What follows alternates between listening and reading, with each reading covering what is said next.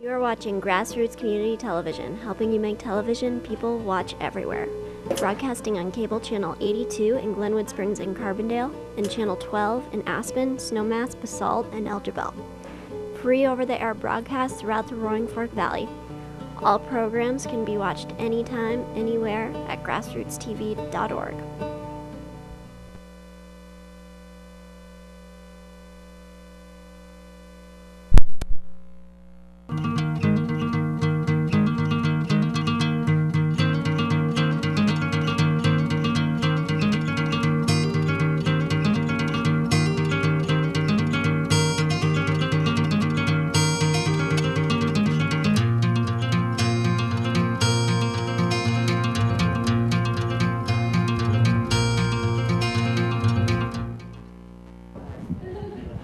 Welcome, everyone, to Naturalist Nights. My name is Howie Kuhn. I work here at ACES, and this weekly presentation is brought to you by Wilderness Workshop, the Roaring Fork Audubon Society, and Two Leaves and a Bud Teas. Next week, we have a presentation about how oil development is fracturing up our last wildland. So please come to that as well here and on Wednesdays in Carbondale as well. It is my honor tonight to introduce Pete McBride. Pete is a local and a photographer who's been published in countless publications, too many to name right here. And his work's really an inspiration for adventure, cultural exploration, and environmental awareness. So, ladies and gentlemen, Pete McBride. Thanks, Howie. I don't need that, Billy. Uh, thanks for coming. Thanks for supporting ACES. I grew up learning about every duck and whatnot, and golden eagles right here. So it's a great place to bring your kids or, or adults alike. Um, I'm, I've, I've shown this talk a, a, a, few times here, and I have a film which I'll show you a trailer for tonight. Um, but I'm going to do something a little different. And um, just to give you, if you, it, I am going to take you down the Colorado River, but I'm going to give you a little warm up on some of the uh, major rivers of the world before we get started. Um, just so you know, um, this was a I guess it's going into now the fourth year. It was two years of following the Colorado River. And um, there's a book that's out there if interested. But I'm going to start off with this somewhat abstract image of one of the most um, ancient pyramids in the world in Egypt. It's, um, it's, south of, it's south of the pyramids of Giza. And the reason I'm starting here is I'm, I'm going to explain to you how I got interested in, in what I do today. Um, I guess it's God, it's been a while. It's 14 years ago. I um, had the fortune to see this pyramid from this perch. Um, I took um, this was my first major assignment uh, for National Geographic. This is a Vickers Vimy. It was built in uh, 1918. This is a replica, and we took it the length of Africa. Uh, what takes now 11 hours on British Airways took us 58 days. Uh, and so to show you how I actually framed the shot for that, um, these are the pyramids of Giza. But what we were basically doing is flying London to Cape Town and about roughly about a thousand feet off the ground. And I became infatuated with not only that aerial perspective of showing ancient cultures, but also how water flows. Uh, this is the Zambezi River. Victoria Falls much further south. But what intrigued me the most on this trip, this was really an adventure story about um, the first aviators that opened up the African Air Passage in 1920, and we, we reenacted it. it. Actually, took us longer to do it than they did in 1920. Typical. but I became interested in the Nile. Uh, the Nile is the longest river in the world. It actually goes goes through 10 countries, and it uh, it starts um, in Tanzania and flows drains drains much of um, Uganda, Rwanda, um, Sudan, Ethiopia, and it brings you to regions where people have their entire livelihood on boats selling you wares on the Nile. So we basically flew up the Nile and had to divert around Sudan when we did this project. But I got a small taste of this remarkable river that's so historic and so embedded in the kind of ancient archetype of our planet. Um, Feluccas is what they're called, seeing them at sunset or seeing how people live. This boy actually lives on this boat. He never gets off it. And so this, this was, you know, 10 years ago, I became very interested in, in the Nile. And, and of course, there's some debate. Is it the longest river in the world? Well, the Brazilians say no. Um, there's been some debates that the Amazon is actually the longest river in the world. It goes back and forth. Right now, we're sticking with apparently the Nile is the longest at 4,100 miles, 4,130. The Amazon is right about 4,000 miles, one of the largest rivers in the world that drains an immense amount of water. And I got a, just another uh, um, brief introduction to the Amazon where I was sent down there to go to this small floating village um, in Peru to um, actually get on a, find one of these dugout canoes, get out in the main body of the river, and which when you're out there is remarkable. It can be two miles across. And the reason I was sent there was a magazine story for Men's Journal and some other magazines was to follow this crazy character, uh, Ed. He was a former uh, what was he? He was special forces out of England. He walked the entire length of the Amazon River. So I had the pleasure of finding him in the jungle and then following him. I grew up not too far from here. This could not be more of my worst nightmare. I mean, this is like dreading, this is like crawling under my bed when you're six at night. Um, why? Well, there's um, there's things like the candiru fish that um, that will swim up your urine stream. Allegedly, there are, there are reports of it. There's electric eels. I had a nice encounter with a six-foot electric eel that I thought was a little like yuppie guppy fish with a flat head, and I was like, Ed, what's this fish? And then realized that the end was over by the window. They have enough. They have 600 volts. They'll drop you unconscious, and generally you drown, and that's how they get their prey. Fortunately, I didn't know what it was, so I didn't panic, and it didn't react. But uh, that is just to give you an idea of how I was introduced to the Amazon. So this was this was three years ago. I've been working as a photographer, writer, and, and now a filmmaker, but it's been about 10 years. And uh, so I've slowly been working around the world, doing a lot of work on rivers. Now, if the Amazon is, say, the lungs of the planet and one of the great rivers, it's one of the largest, most voluminous rivers, we will stay with the, the Nile being the longest. Uh, there is a river in northern India that is the most sacred, the Ganges. And I had the good fortune to, uh, I was just there for National Geographic looking at it. This is in the foothills of the Ganges. Now, the Ganges, interestingly, it's not the longest. It is also one of the most voluminous, but it's definitely the most polluted and most sacred rivers in the world. And where does it go? It, it actually drains the whole southern region of the Himalaya. So, whenever we have people marching off to um, the Karakoram and the Himalaya to go play on ladders and test their challenges and their, their wits, most this is on the south side of Everest. A lot of this drainage all comes in eventually through Nepal and into the Ganges. So I've been. This was another story I did, but it's all. I'm starting to realize how connective all these rivers really are. That's what people do when they're resting at base camp on Mount Everest, play baseball. So it, the Ganges flows down, it heads basically south. There's hundreds of tributaries in the Ganges, but it is the, definitely the most populated watershed in the world. It supports 400 million people, which is pretty remarkable. When you're up in the, um, the headwaters in the foothills, it's still quite spectacular. I was in a region where it's not that populated, and you have donkeys and whatnot and a lot of rafters. But what intrigues me about the Ganges, after spending a lot of time on, on rivers, is, is how sacred it is. It's very polluted. A lot of that is due to lack of awareness and poor human practices, a lot of industry.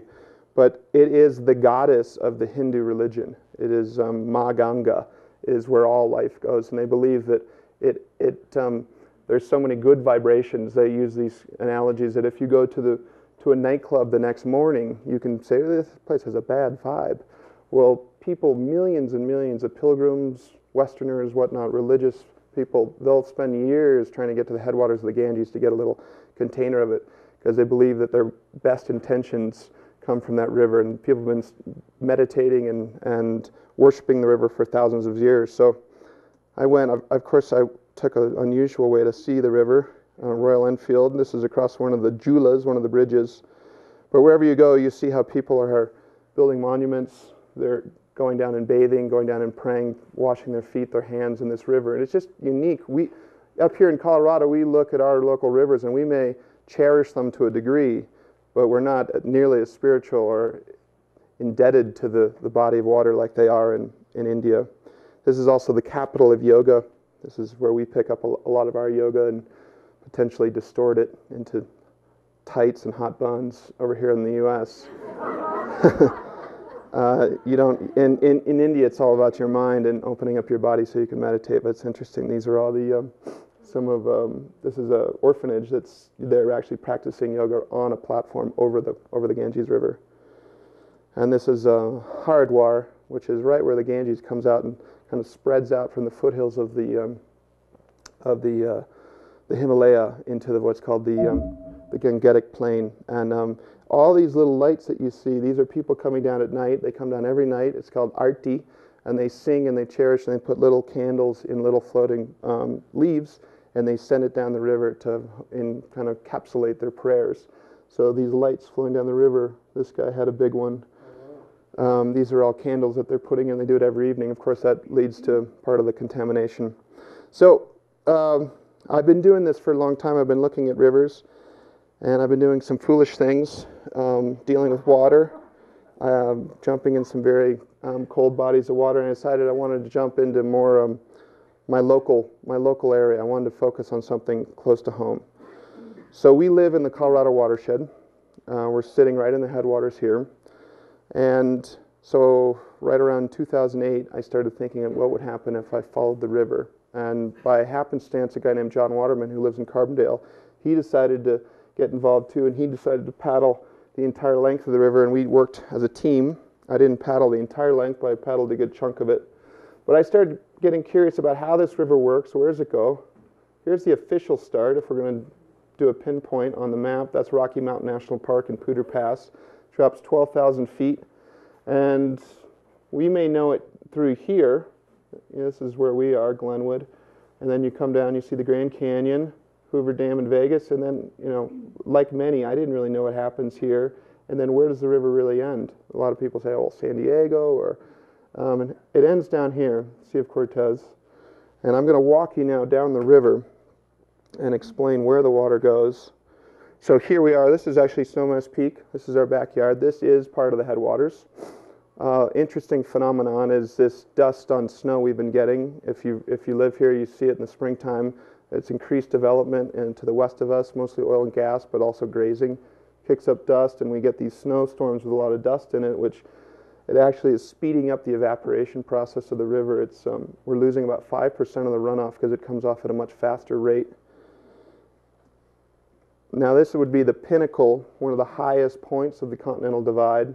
Colorado has this interesting phenomenon where we've got this ridge running right through the state, and the Colorado River is basically the western side. All the snow and rain gets collected on the western side, so we call it the 80 20 rule. We have 80% of the water on the west, but 80% of the population lives on the eastern side in Denver. So this is right about the pinnacle of this western side. This is if you've ever been to Leadville and driven, you've probably driven this road to Denver. The Climax mine, these are the tailings piles. So this is right at the headwaters. You can imagine what happened if this breached, a lot of heavy metals. But that's the Blue River going up to uh, Dillon Reservoir. The Eagle River comes out here towards Vail, and then Arkansas, which is not part of the Colorado River Basin, ends up in Mississippi, um, comes out the bottom.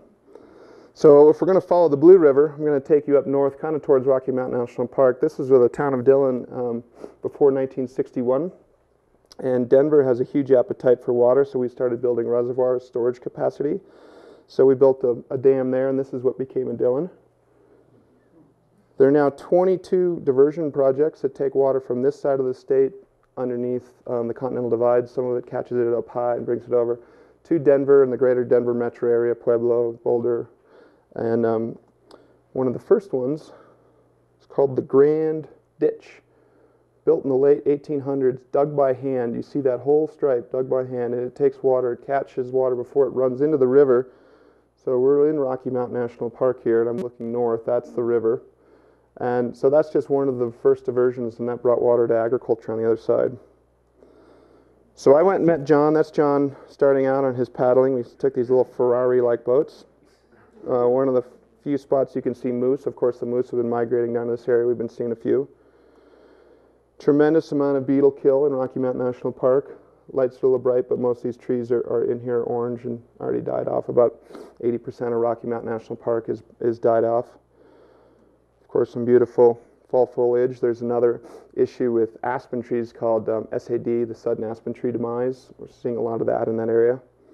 So the river, as it starts building momentum and collecting all this, this snow melt, um, a good portion of it gets diverted right away at Lake Granby, right underneath the Continental Divide of Denver. And so you come here by Kremling. Just to back up for a second to give you an idea how much water goes to Denver, this river right here is the Roaring Fork. 50% of that river is, gets taken before it even reaches Aspen to Denver. Same with the Frying Pan River. So it's, um, it's, we're changing the nature of what we've done to this river dramatically. So I've taken you basically on a, from Aspen, I've done a big loop up Leadville up to Rocky Mountain National Park. Rocky Mountain National Park is up there. And I took you briefly up the Blue River, which here it comes and it joins the Colorado right here. So this is right at Kremling, if you've ever been to Kremling, little agricultural community. And it drops right away into actually the steepest drop of the whole river. Most precipitous drop is Gore Canyon. Great fun for whitewater boaters. Um, class 5 water, it's one of the top probably three or four runs in the, in the country. Uh, fun if you're going forward um, facing backwards trying to photograph is, was kind of a nightmare. I kept cranking the camera into my head. Um, cold too, but so that's John on the right. And as it comes out of Gore Canyon, it comes down and meets the Eagle River that picks up from Vail, And then there's Glenwood Canyon, which I'm sure many of you are familiar with. Mount Sopris in the upper left. So you can start to see kind of how this river is draining this immense amount of area. Glenwood Canyon, uh, you can also see how we've, this river is not only we shape it, but it shaped us. It's, it's carved these passages for us. It's became, I mean, look what we've used this river for, for, for transportation. We have a four lane highway. This 19 mile section of highway here costs more to build than the rest of I 70, which goes from uh, Nevada to Washington, D.C. Um, we have the Rio Grande Railroad, right there, train coming through, Shoshone Dam, also part of Denver's complex water network.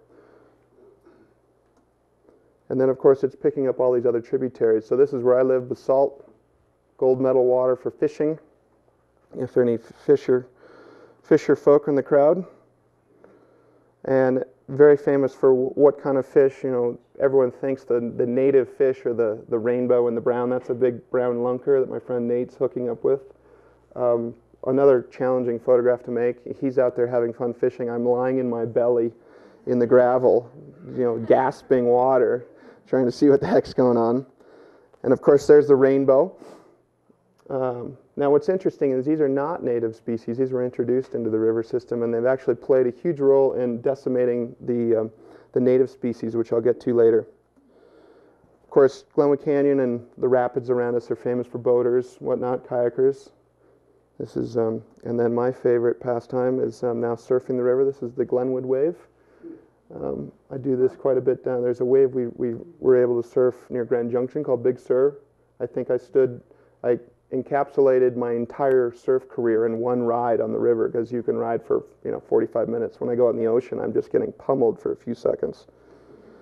Now this project, it originated, it, it to a degree, it happened because John was paddling the river and we started working and collaborating. But it also happened because I grew up in Old Snowmass. We moved out there when I was about eight, and uh, my family still lives there. I live in Basalt, but we have a, a cattle ranch. We run a, about 100 head of cattle. We put up 300 tons of hay, and we used to do all our all our sprinkler, all our irrigation um, with gravity fed. So you divert these ditches, and I spent my summers. That's all I did basically is irrigate. And when you're irrigating gravity fed, you put a dam, you have a lot of time. You sit there and go, huh, well, I wonder if the water's going to make it here, I wonder where it's going to go. So I started thinking a lot. I wonder what exactly happens to this water. Where does it go? Because generally, when you flood irrigate, you need more water to get across the field, so you're sending more that's going to go back into the system. So I started wondering, where does this, how long would this water here coming out of either our ditch or a sprinkler take to reach the ocean? Pretty simple question, which I never believed that some 20 years later I'd actually chase, so to speak. Um, that's the aerial perspective on one of these sprinklers. These are interesting because we went to these sprinklers. They're gravity fed, no motors at all.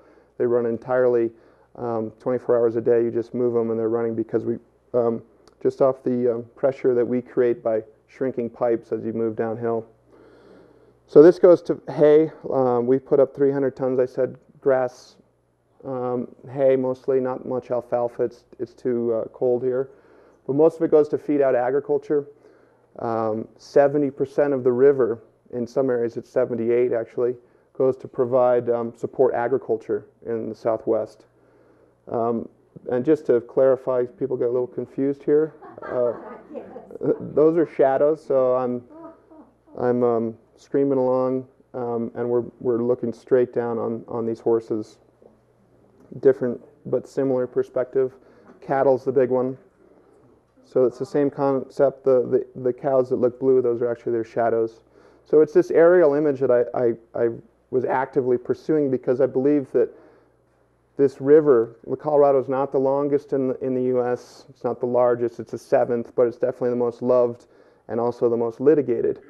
And as a result, there's thousands of pictures of it. So I wanted to employ something a little different, and I think this aerial perspective um, gives us a little sense of where we've been and where we haven't. And I was fortunate to have um, this wingman, my old man, my father John, um, who is a uh, pilot. This is a Cessna 180 that he flies. And uh, so I got to act like I was bossing him around a little bit. Of course, he was telling me you got to take a picture of that and that. um, no, it was a great partnership. So he, he flew the upper basin with me. Um, local pilot Bruce Gordon was very helpful too with EcoFlight for the locals here. Um, now, as the river flows out of Colorado, comes into Utah, it's picking up more tributaries. That's um, uh, Monument Valley, just north of Moab. That's Moab, Moab off to the right, the river on the lower left here.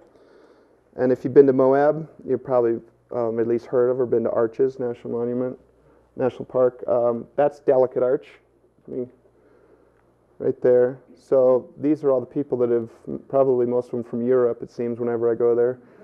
Um, they're looking through Delicate Arch with the framing the La Salles, but we've seen that picture, so that's why I'm trying to show something different. And you can see how the river's sculpted a lot of this region. If you do a 180 degree about face, uh, most people don't realize just south of Moab is this potash mine. Very interesting. It's they mine um, potash from about 2,000 feet below the surface, and they slurry it up with Colorado River water, which they dye blue. Why? Because it um, speeds up the evaporation. Now, this potash mine isn't that they're, they're doing a decent job. But what's in, what I'm trying to highlight here is we're using this river a lot in a lot of different areas, not just front lawns, not just drinking water, not just hay, but industry. And the demands are only coming up, especially with oil and gas and fracking. It's going to increase because it, um, if you've been following the fracking debate, and um, it's uh, it's pretty water consumptive. Now, meanwhile, if we get head up north, because the basin is is really seven states, you have the, um, the Little Snake on the left and the, uh, the Yampa River on the right, and they're coming out of Wyoming. They merge here, and you can see the different sediments. You can also see how the change in what would have been the natural landscape on the left versus how we've changed it towards agriculture on the right. Comes down to meet the green, which can be very green. And then the Yampa and the green meet here at Echo Park, Dinosaur National Monument. What's interesting here is this was once a proposed dam site right there. It was heavily fought in the 60s and won, but it came at a cost, which I'll get to later.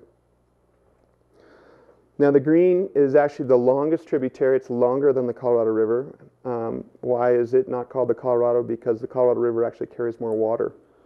Um, now, it comes down, and the confluence is just below this image which is one of my favorite images. The green's coming in right about there. But this is called the loop, natural double oxbow. In a few more million years, it will probably erode through one of those oxbows and become a dead oxbow. And this is the beginning of, we're in Canyonlands right now. And it's also Cataract Canyon, which is one of the most uh, largest navigable rapid on the entire river. Um, I went down last summer at one of our record high water runs. We had this huge snowpack, this record breaking snowpack, which, which I'll get to. It kind of restored some of the deficit we've been seeing with water loss. But this is, um, I went on the, the, the cushy, safe route. I went on one of these giant motorboats because um, I was nervous, mainly because um, I went three summers ago and we had a big runoff. The last photo was going down at about 75,000 cubic feet per second. The river usually runs at around, on average, around 10 to 12. Grand Canyon usually runs around 10 to 15, to give you an idea. Uh, this was a couple years ago. I went down with some friends, and this is only at 60,000, but that's this is what led to me being nervous and getting on the big boat. My friend Fletcher Yaw is somewhere there. Uh, Matt Holstein is over there, and I can't remember who else is there. So that's the last frame going into what's called Satan's gut. Um, not where you want to be. We completely screwed up. So that's the next frame. Uh, so uh, fun to say, not necessarily. It's fun to have swum Cataract Canyon, not fun to actually swim Cataract Canyon. It's a little nerve wracking. Now, Cataract Canyon, what's interesting is it comes down in the last point where the river is kind of running in its full might and glory and, and natural existence, as natural as it can be today, and it runs into Lake Powell. And what's interesting with Lake Powell is it collects all that sediment. The saying is that the river used to be too thick to plow and too thin to drink. Um, excuse me, the other way around, too thick to drink and too thin to plow.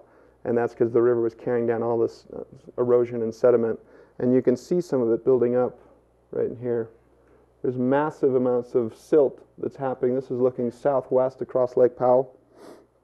Now, this was the canyon that nobody knew, is what they called it.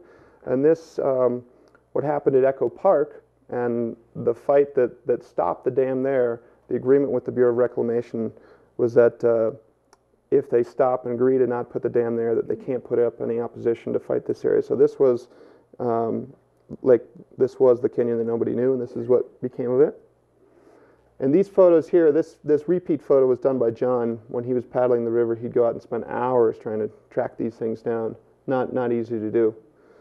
But just showing how we've transformed this area. That's looking basically east, east-north. La Salle Mountains right there.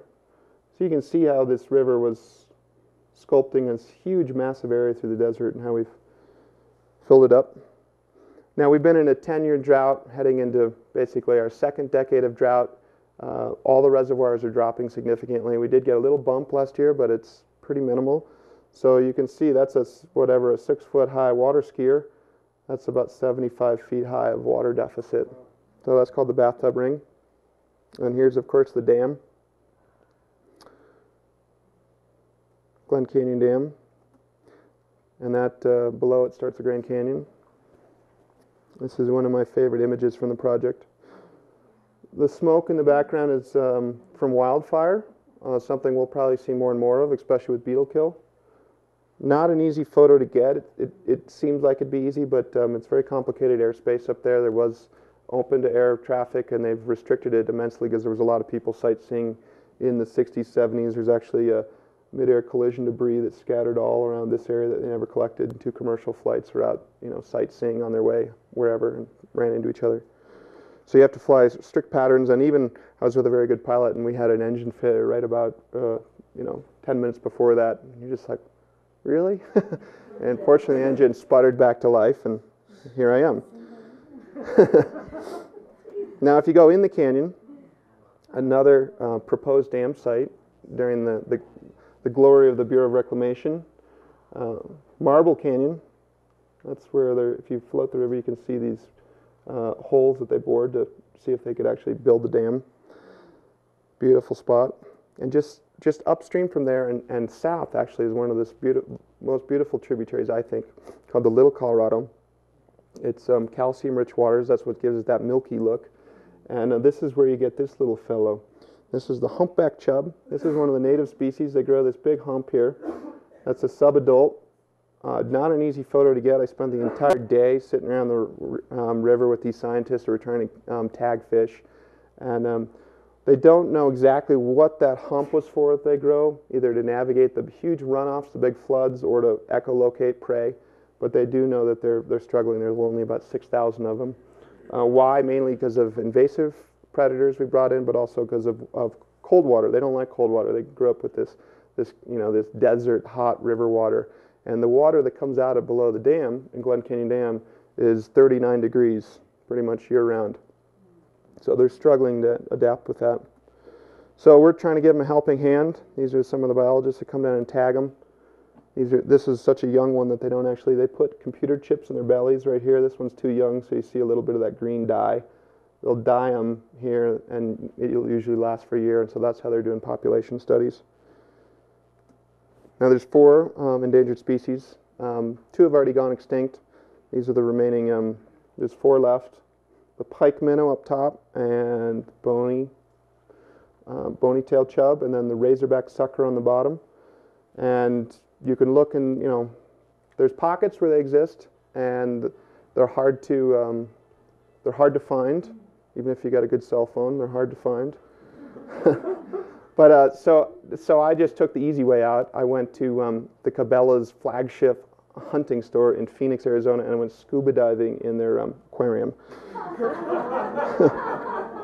so the kid is not, he, I don't think he really cares about what these kind of prehistoric fish are doing. He's like, who's this character in there? Now, if you're in the Grand Canyon, this is um, Nankoweap Point, very famous spot. You've probably seen a lot. I was trying to get something different. It's a nice camp spot there. Beautiful to get in and stretch out your legs and relax. Thousands of visitors here. Uh, recently, they just, um, it was a month ago that um, Salazar just actually um, amended the law that we will not do any more uranium mining in the Grand Canyon, which was, I think, a big success. Arizona is saying, well, that's a huge loss for jobs, but um, I try to remind people you can't really export the Grand Canyon. There's nowhere else to go. There's only one in the world, and um, 100 million visitors a year come to it. Uh, local boy Dave Kaczynski, who's a Grand Canyon guide down there, he kindly took me down. This is uh, Lava Falls, one of the most famous rapids towards the end. Another aerial shot that I like. Now, President Roosevelt, in 1903, he came here and he came to the South Rim and he came um, by train and he was instrumental in um, creating Grand Canyon National Park. Apparently, it was unscripted. I, I haven't been able to figure this out, but his 20 minute stop, he looked over the ridge, looked down the trail, and he said this quote, which is one of my favorites. He says, Leave it as it is. You cannot improve on it. The ages have been at work on it, and man can only mar it. So I think what we did, uh, what Salazar recently did, is you know testimony that we're trying to maintain that spot. When you exit Grand Canyon, you come down to um, Lake Mead and Hoover Dam. Once was the largest dam in the world, built in 1935. There's enough concrete in this baby to build a four-lane highway from Boston to Seattle. Pretty remarkable. I, I think if I, my memory serves me correctly, was the, the total cost was like $8 billion to build this. 1935, a lot of money then, but still it's remarkable what they did. Another view of it, you can see the bathtub ring. Now, because of drought, climate change is playing a huge role. There, all the projections are that the river is getting um, going to get hotter and drier and lower, and um, levels are dropping. And of course, we have more straws in the drink. Um, Vegas is so concerned they're building what's called the third straw. What's happened here is that the water levels are getting so low that one of their intake valves is right over here. It's out of the frame, but it's getting the water level is too low for their intake valve. So they're building this straw that's going to take five years, maybe six. They had a, a, a screw up recently. The tunnel was going the wrong direction.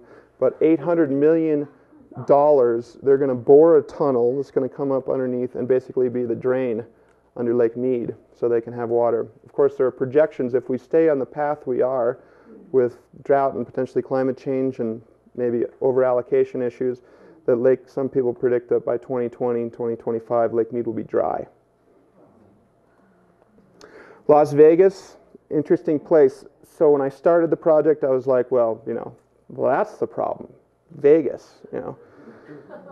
well, what's interesting is when they wrote the Colorado Compact, which is the law of the river, it was written in 1922, and seven states to my amazement today, they got together and they actually agreed on, on this law. And it's actually a pretty, pretty well written, pretty good law.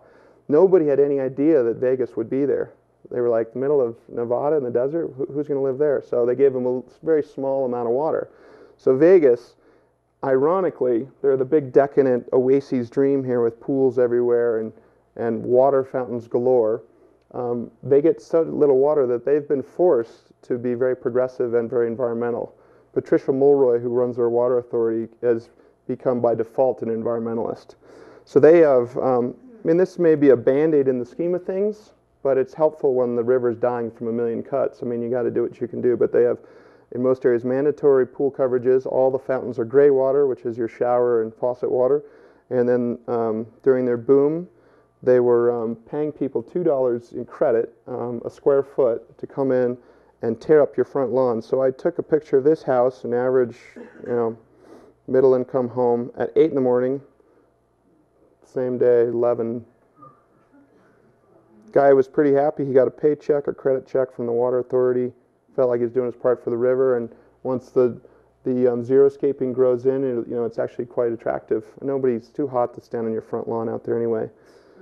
Um, side note, interesting side note, is xeriscaping originated actually in Denver. And they're doing it to a degree, but Vegas is kind of the champion of it. So hopefully, it's little measures like that will, you know, save water for us for, you know, basking around in the pools like we like. But also, I'd hope that it saves a little bit for the critters too. That's a Rocky Mountain toad, and that's one of the perks of spending all day in the Little Colorado looking for humpback chub. Is this little lady had a little love affair with my lens? I don't know what. She kept wanting to swim onto the lens.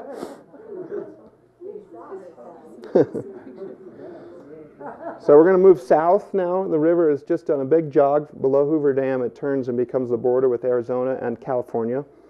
And um, Lake Havasu you see here. This is um, this is the Colorado River Aqueduct. It goes 242 miles right here.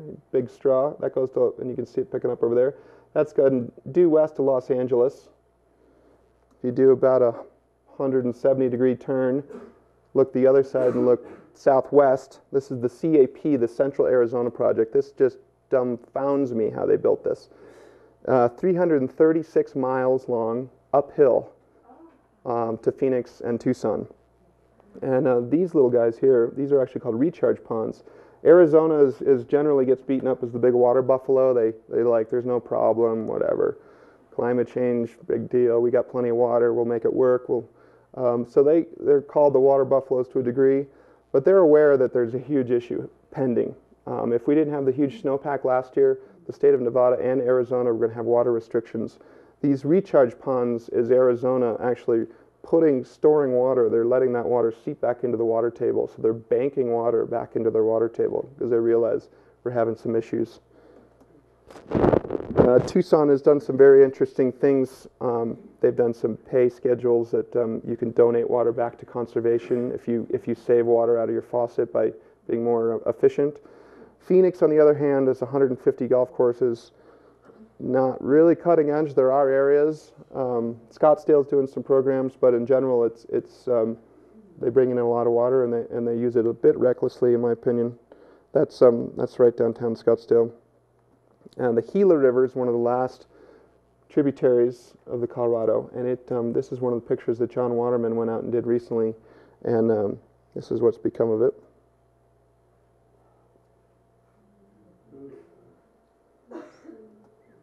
So that's the Gila. We're down quite a bit south of Phoenix now, and the Gila is doing a big right-hand jog. It's starting to head due west to meet the Colorado, but there's actually no water in the river here. There's a little bit seeping up for irrigation, but whenever it picks up in the river, it's quickly diverted and, and sent off basically so we can green the desert. These are pistachios, um, pretty water intensive crop. You can see how we've, we've taken this ethic of, of greening the desert, which there's been people over the course of history from John Wesley Powell who said, you just can't do this. This river is, it's semi-arid and that's what it's meant to be and it's always going to be that way. And then we've had other people that said, no way, the, the rivers, we can do whatever we want. The, the rain will follow the plow, was the saying. So there's been a you know, debate over this for years. Um, where do I sit on it? I think that we can do a mix of both. Um, having grown up on a ranch, we still have cows. I mean, I, I don't even eat that much meat anymore, but I think um, there are ways to raise beef effectively. This is in the Imperial Valley. Is this the most effective, efficient place to be doing this? It's 127 degrees when I took this picture. Um, massive amount of water to sustain this. Um, maybe not the best place to have cattle. Um, of course, the Imperial Valley gets about three quarters of the water um, that California takes from the Colorado River. Uh, California is the biggest user of the Colorado River. Most of it goes towards ag in that area. A lot of it goes towards lettuce, though, um, and lettuce may be a very it may be a very good crop because it's about the only place in the country that we can raise lettuce effectively and efficiently throughout the winter. Uh, in fact, in the months of December and January, it's the only place in the country you can get lettuce unless you have your own greenhouse. So if you live in New York or Boston, January, you're eating the Colorado River. So whether you live and love the river or, or you don't know anything about it, it's kind of in our, I think, in our, our best interest as a country to care for it. And just a side story, um, having hung around this area for quite a bit, going up with crop dusters, this pilot later took me up, crazy pilot. He flies at night, he does everything. That's, that's high for him. Usually his wheels are spinning on the crops, but he's just high because he wants to avoid those sprinklers. Uh, I got doused, the wind changed, and whenever he sprang, doused me. And he said, You know, it's probably a pretty good idea you have about four showers. so some of it's organic down there, but most of it's not. And these are the pickers I went out with, a great bunch group, singing, happy, actually pretty well paid job. But you can see there, they've uh, they talk about their hands going black, um, getting weird blisters on their mouth from being around this. This lettuce gets picked, bagged, boxed, right to the grocery store. So, just some, just the word for the wise: wash your lettuce. yeah, I had no idea. So now the river, historically, and why we're in this dilemma today is that um, it used to just rage at times. In the spring, June, it would come roaring down and have these huge floods. In the early 1900s, it ran at record levels. This is Yuma, Arizona, and this was a flood that came down with 200,000 CFS, cubic feet per second. Um, immense. So I understand why we have controlled and dammed this river to a degree. It'd be, it'd be you know, romantic to think the Colorado would be a wild river, but today's world, that's, I think, unrealistic. But in the process, we've controlled it so much that we've turned it into this piddly little creek that at Yuma, you can walk across this and it barely gets your ankles wet. And it's like that year round. And so these floods that happened in the early 1900s, they were somewhat of an anomaly. And so when they came and sat at the table down in New Mexico, when all seven states put their heads together and drafted the Colorado Compact, they had that as their main source of data. They're like, well, this river really, it's got a lot of water. So that's what they divvied up. That's what they created the pie, or call it the extra large soda cup if you want. And they put everyone's, each state's straw in that soda.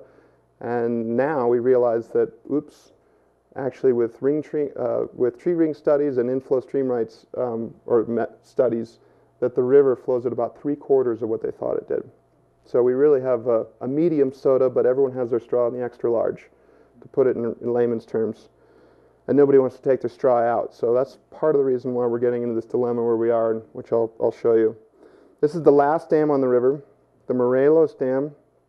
You see the Wellton-Mohawk Mode Canal heading off there to the up on the left. That's actually wastewater.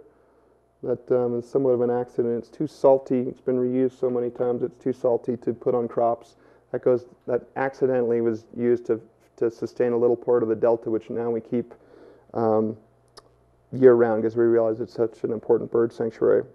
But this photo is hard, very hard to get um, for a number of reasons. The this is the U.S.-Mexican border. It actually runs for 23 miles. It's called the Limitrophe. It was famous for bird hunting, but I'm looking due south, and the U.S.-Mexican border fence is running due south right next to it.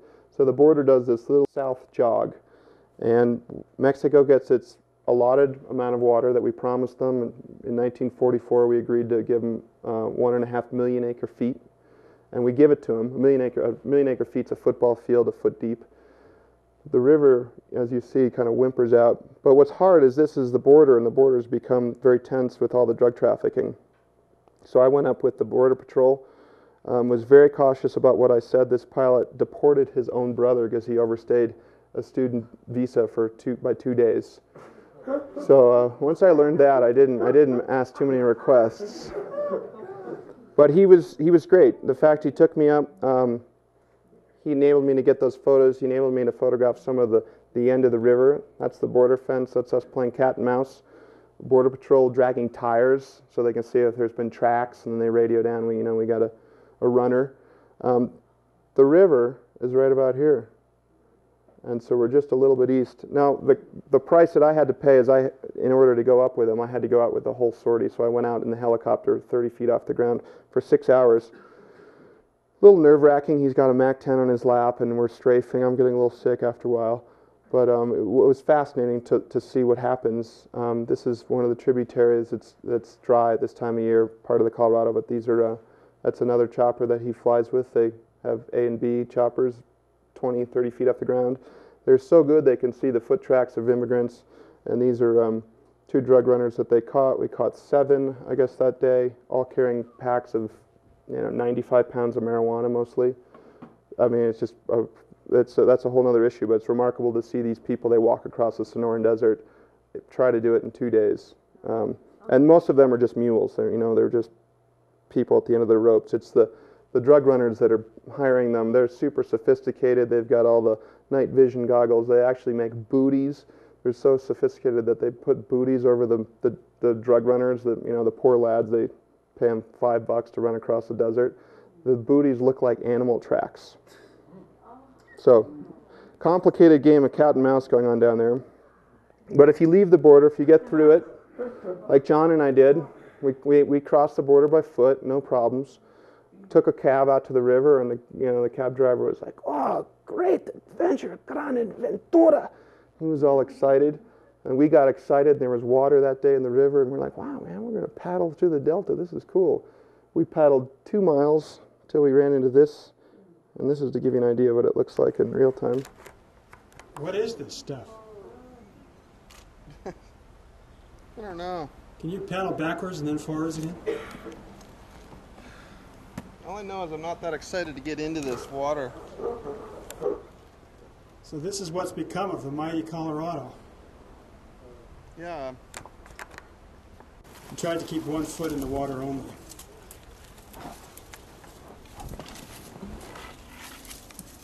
Colorado is now a recycling center and Tamarisk collection zone. So that was the end of our paddle, just two miles in. That's about 90, 90 some miles shy of the Sea of Cortez. It's actually retreated further. It's about 100 miles now. So this was the western flank of the delta, which I'll, I'll, I'll come to back to a map and show you. This picture was taken by a guy named Edward Alphonso Goldman in 1906. John and I did this one together. We spent a day. Uh, we just knew there was a cinder cone somewhere in this old washed out photo, but we found it, and that's what's become a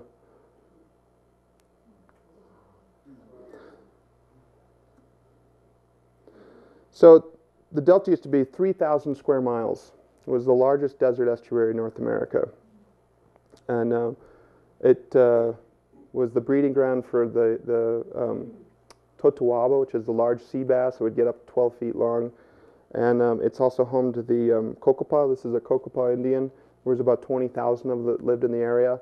And this is this guy who took us out here. Um, he actually learned to fish right here. So very um, drastic change. They're definitely the, the most kind of unheard minority voice on the river. There's only about 1,500 of them left. This is their ancestral rights. They're the only ones that have rights to fish here, but obviously there's no water. Uh, just to the west is um, what's interesting here. It's um, this isn't a, a jab at four wheelers. It just shows how we've we're still adapting and using um, this these sands um, used for now, you know, a fun place to go rip around on are all the historic sands that have come down from the Grand Canyon. And since we've actually dried up the delta, these sands have been blowing and creating one of the largest inland desert sand deserts down in Mexico now. And that's just been a recent phenomenon that's happened in the last 10 years. So John and I packed up the boats and um, we walked. The whole time I think I was wondering why the hell am I carrying a boat? um, we had I started out with seven gallons of water, cameras, food, whatnot. I could barely walk, and so we realized we weren't making it fast enough. We were running out of water, so we actually asked some farmers, um, found some of these. Uh, there was a couple irrigation canals that we paddled to help us speed our way, and um, which definitely helped. Not a very romantic way to paddle the Colorado River. And then those ran out, and we walked some more. Uh, it took us two trips actually. John's foot got extremely infected. He said in that little video clip that, that I only put one foot in the water. Well, that one foot went completely septic. He had a blister, and it, three days later, it was just a little pus factory. So we had to bail and come back. Um, and on our second mission, we finally made the entire uh, 90 some miles. Some of it we paddled in canals, most of it we walked. And we made it to this town, um, El Golfo de uh, Santa Clara. And it's one of the, the old fishing villages, which is on the, um, the eastern flank of the of Cortez. And um, these are all the guys that depend on the shrimp. And the shrimp are, are dependent on that brackish kind of mix, mixing of freshwater and, and saltwater. And so the shrimp fisheries have dropped way off. Um, this is John on our first sortie out. This is how we get back. This was uh, walking out to the road on the west side of the delta where we hitchhiked for six hours. The last three hours we held out money, and um, it didn't work. And then finally, random, there's just those good Samaritans in the world. This guy came up. He didn't want money. He wanted to buy us beers. He wanted to do everything, and he drove us all the way to a hotel on the border. So, so we're getting close to the end here. I'm, I'm going to just give give you an idea where we've been. Obviously, that's the Grand Canyon. Most of you may know. There's the Hoover Dam again. I diverted. I came over here into the Phoenix area. This is the Cap, that Central Arizona diversion. This is the Colorado one. Here's the Gila. Uh, I can't see that one too well, but it, the Gila is coming down here. And the Frappuccino pit where I was paddling is right about there. So the delta used to stretch this whole area. And I think what I find interesting about this project is, is um, you know, there's a lot of discussion about climate change and this and that, and what is it? Is it nature's taking its course? I think this is a real testament of what's happened because of our impact, and I think it's testimony to what happens when we ask too much of a limited resource. Yes, we made some mistakes on how much water's in the river, and we can, I think, fix it. We can find more greater efficiencies. But basically, when you ask too much, it disappears. So this is an aerial shot of one of the Cocopahs that are still somewhat optimistic that they may fish. They leave their boats out there. But I like this image because it has kind of that artery feel. I think of our rivers as our arteries of the planet. The, this is one of our last camps in the Delta that I, I like to talk about because it was one of my favorite spots in the river. And um, ironically was probably the wildest spot I experienced on the entire river. Wilder than the Grand Canyon. I saw more species, particularly of birds here, than I did anywhere else. And I'm actually quite hopeful because I think a lot of this has happened out of a lack of awareness. The Delta is in a part of the world that nobody really knows about. And we're starting to know about a little bit. Um, small projects like this have helped to a degree, but things like people that do care about rivers are starting to make a difference. This was a billboard that ran in um, um, Grand Junction, and this is opposing a, a, new diversion that's been proposed called the Million Project that would divert water from the Green River all the way 460 miles to Pueblo, Colorado. Um, there's a lot of proposed diversion projects. We're not, not everyone's thinking, well, this is what we have. We, we have X in the river, we're going to have to live with it. Some think that, but a lot think we just need to get it somewhere else. But I'm also hopeful because I'm a big fan of dark places. And if you look at a map of the US at night, there are a couple dark spots that still remain. This would be Los Angeles and San Diego. That would be Yuma, Mexicali, and that is the Delta. It's a dark spot that is still very wild as a result. You can actually see how the river sculpted so much this is uh, Vegas coming up. There's Denver. You can see how it kind of follows this line through here of growth and development. But it's still untouched here, and I think a little bit of water, we can bring it back to its former wild self. So Aldo Leopold, he took a canoe down the delta in 1922, and he wrote, a quote I like quite a bit, he said, On the map, the delta was bisected by the river, but in fact the river was nowhere and everywhere for he could not decide which of hundred green lagoons offered the most pleasant and least speedy path to the Gulf. And then that canal I showed you when I was, the image of the last dam came up from Mexico, uh, the one that has water that's too salty to use for irrigation. It goes down and sustains this. This is called the Cienega de Santa Clara. and that's the last of the estuary, the last of the delta that has water. It's about 10% of its former self, and uh, I think some people think that it won't take much water. Uh, there are a lot of groups working on it, and um, I'll tell you what you could actually do, which there's something happening right now um, with the legislation around the river that could use all our voices. Um, but I'll show you this. It's a video made, a movie. I was curious about a river that ran through my backyard. I just wanted to know where our irrigation water went and how long it would take that water to reach the sea.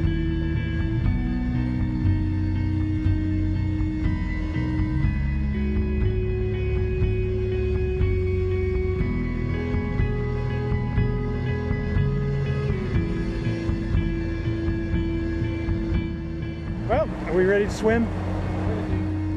I'm scared.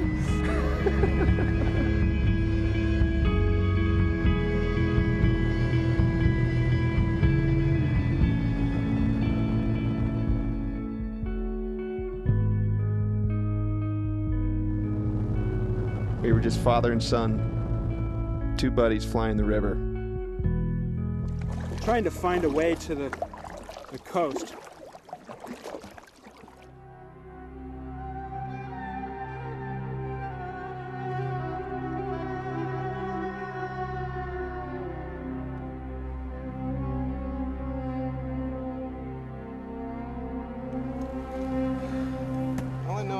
That excited to get into this water.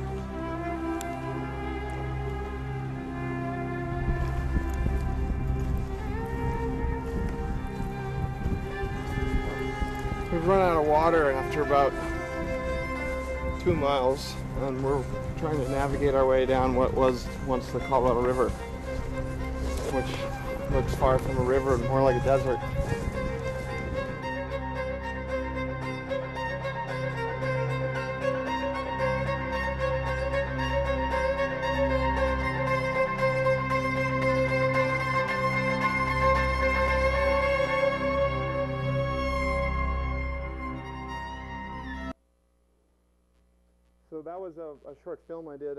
Project. It was it came a little bit as an afterthought. Um, the book was the origination, uh, kind of the concept that John and I were doing together.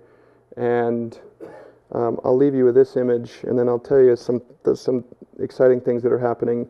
Um, there's part of the reason why I wanted to talk about world rivers is this really is a world river, and um, this was a photo exhibit um, that happens in France, and this was um, 5,000 people came out to see this, and there's tremendous amount of care and interest in this river, and so it's um, it may not be the most sacred, it may not be the longest, it may not be the biggest, um, but it's definitely one of the most loved, and it may be the most litigated. But I think um, if we care about it enough, I think we can bring it back to being a living river.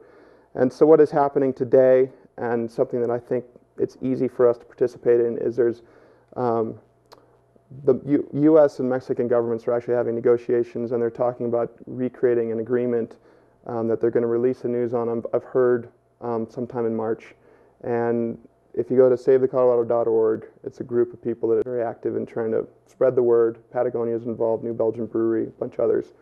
Um, they have a, a, petition you can sign just to that'll be sent to the, the commission that's working on this, and what I th- the the gist of it, it's a very tight-lipped group, but is that the Mexicans will commit 50,000 um, acre feet, and they're hoping the U.S. will too. And that's not in the scheme of the water world. That's nothing.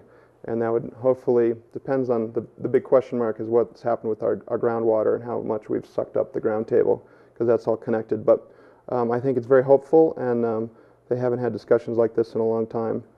And um, so some people are very positive. But you can go this site prompts you where to go. Um, I encourage people to jump on board. It's just a signature. They're not going to they're not going to take your bank info or anything like that. Um, but I'll end with that. Thank you very much, and um, enjoy our rivers.